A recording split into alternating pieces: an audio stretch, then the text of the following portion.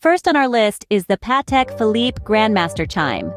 Unveiled in 2014, it's a testament to Patek Philippe's mastery of the horological craft.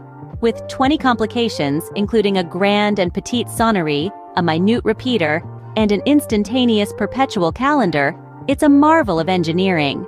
Its double-faced case can be worn with either dial facing up.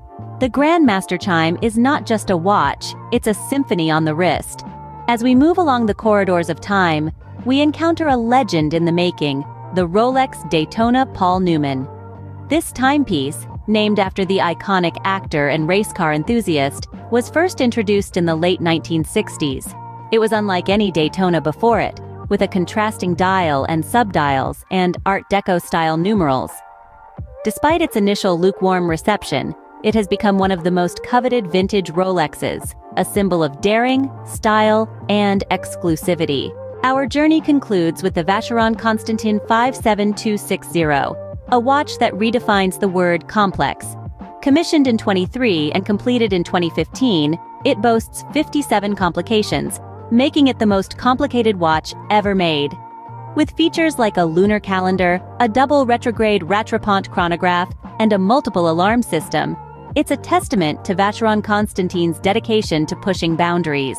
To recap, we've journeyed through the realms of luxury horology, exploring the Patek Philippe Grandmaster Chime with its symphony of complications, the Rolex Daytona Paul Newman with its story of daring and style, and finally, the Vacheron Constantin 57260, a watch that pushes the boundaries of what's possible. Each of these timepieces is a testament to the artistry, skill, and passion that defines the world of luxury watches. These are not just timepieces. They're stories of precision, craftsmanship, and the relentless pursuit of excellence. They remind us that in the world of luxury horology, time is not just measured, it's celebrated. And as we close this chapter, remember, these watches don't just tell time, they tell a tale. A tale of time, luxury, and the art of horology.